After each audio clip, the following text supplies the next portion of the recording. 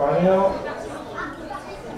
Et les voilà partis donc pour cette deuxième épreuve, le prix Alliance Il s'agit du prix Caresse d'Antoinette avec eh bien, une course plate sur la distance de 200 mètres. Donc, très bien lancé avec Chandler qui est euh, plusieurs maintenant sur Voyeur qui position.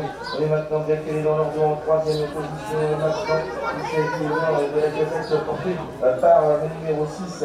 C'est Général Bosquet qui est là et puis Valmir de Vago également qui tente de s'approcher au centre du besoin elle est tirée donc pour aborder maintenant le dernier tournant et Ken Bonheur qui y a l'avantage maintenant mais rejoint côté par le par dans les joueurs qui vont encore passer par les maintenant et qui tente de mettre la pression au sac de tête qui quand même lui prendre la main qui est maintenant en troisième position avec la casette dernière qui a refait du terrain. C'est Othello maintenant qui tente en troisième place. Du aborder maintenant la station avec les vont